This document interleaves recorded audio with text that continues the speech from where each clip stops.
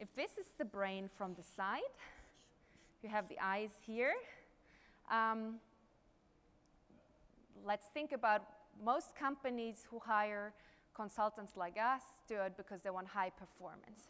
They have the idea we want the best people in place. We want to make sure they really deliver high performance and they can get their teams to deliver high performance. When we look at high performance in the brain, there's one part that's really important, and it's called the prefrontal cortex, PFC. And that's the part of the brain that makes us different from animals.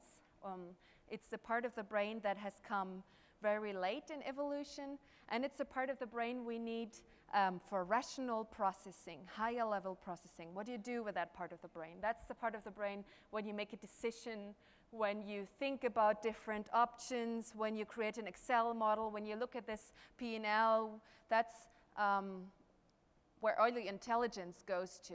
In the end, you're sitting here because you have a very well-functioning PFC, otherwise you wouldn't have made it partner. It's, it's obvious that's what you need, and that's what companies are looking for, people who can really perform um, well and have um, well-functioning brains. This is also the part of the brain that matures only at age 18 or 21.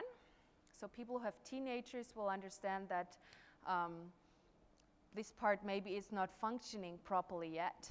And it's a part of the brain that's also responsible for inhibition and delay of gratification. And if you think about it, teenagers will do lots of stupid things. They don't know better. It's their prefrontal cortex that's not fully matured yet.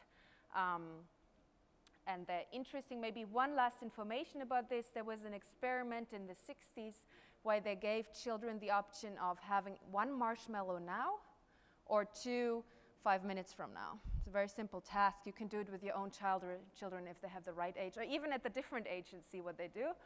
And the children who go for the marshmallow right now are not as successful later in age when they're adults in life as the ones who can delay gratification and wait. The prefrontal cortex already grows in small children and some have a more powerful prefrontal cortex. It's something you can also influence by education, by not giving them everything all the time directly, by learn, letting them learn to work for things. Lots of this is genetics, but there's always things you can influence. Otherwise, this session wouldn't make sense. I would say, your brain is as it is, go home, do with it what you want. You can education does make a difference in how your prefrontal cortex develops and um, very important for success later in life, more important than intelligence, is something that's called executive control. That's the ability to delay gratification, to plan ahead, and to not always get all things at once, but to wait for it. I think you get a clear idea what our prefrontal cortex is capable of. Here comes the thing. That's what companies want. They want you to have a well-functioning prefrontal cortex that will assure you make great decisions and are performing well. But the prefrontal cortex is always overruled by another part of the brain, and that's called the limbic system. That's the part of our brain where emotions are processed. It's a part of the brain that's way older from an evolutionary perspective than the prefrontal cortex. And um, you could say if these two are in a fight, the limbic system will always win.